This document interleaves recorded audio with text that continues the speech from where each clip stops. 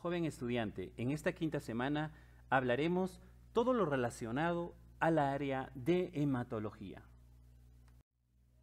A continuación te presentamos una herramienta visual para que puedas responder la siguiente pregunta. ¿Qué actividades realiza el tecnólogo médico en hematología? En el área de hematología estudiamos alteraciones y patologías relacionadas a los glóbulos rojos, a los glóbulos blancos y a las plaquetas. Y es importante observar en este diagrama cómo se da origen a cada uno de estos elementos celulares. Es importante la extracción de sangre venosa, porque a través de la muestra sanguínea nosotros podemos realizar el estudio de diferentes enfermedades. En el área de hematología existe un procedimiento y pasos muy importantes que tenemos que tomar en cuenta, desde la elección de la aguja y cómo tenemos que punzar la vena para obtener el material de estudio. Es importante que ustedes, jóvenes estudiantes, aprendan a elegir la vena para obtener la muestra de sangre que va a ser estudiada. Acá presentamos cinco venas muy importantes y una en especial que nos ayuda a nosotros para obtener esta muestra para que pueda ser estudiada y para obtener el diagnóstico de la patología de nuestro paciente. La muestra de sangre capilar es muy importante.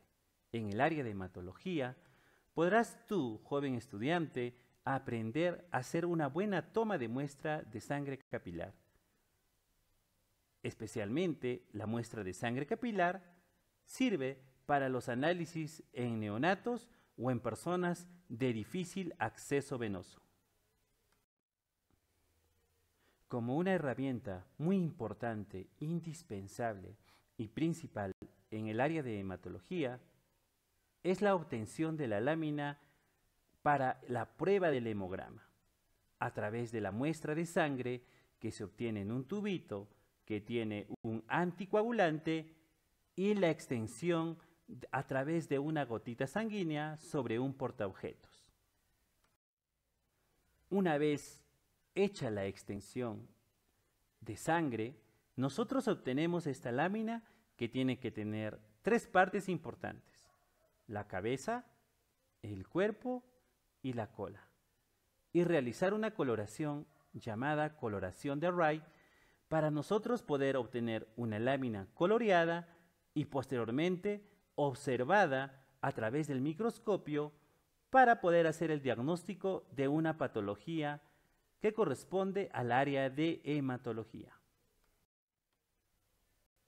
Mediante el uso del microscopio como una herramienta fundamental, tenemos la observación de los elementos celulares, sus características, su forma, su tamaño, su aspecto y qué alteraciones tiene una célula normal para poder nosotros hacer un diagnóstico de cualquier enfermedad hematológica.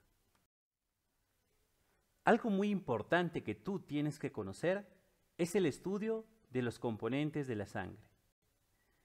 La sangre, una vez obtenida, cuando tú realizas el proceso de centrifugación, vamos a obtener los elementos o los componentes de esta sangre, que son el plasma y debajo de él el glóbulo blanco y debajo de los glóbulos blancos los glóbulos rojos. Tres elementos importantes que son los componentes principales de la sangre.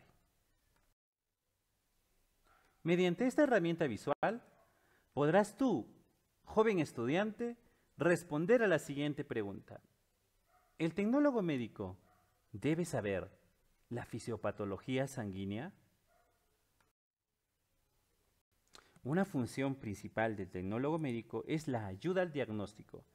Y esta ayuda al diagnóstico en el área de hematología está dada por determinar ciertas patologías como la leucemia, como las anemias, que ayuden al paciente a hacer un seguimiento y un tratamiento oportuno.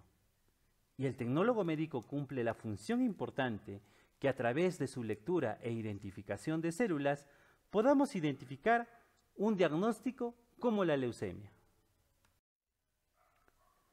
Como conclusiones, podemos decir que el tecnólogo médico participa en la detección de las anomalías celulares como cambios neoplásicos de las series hematopoyéticas y participa en el descarte y clasificación de los tipos de anemia.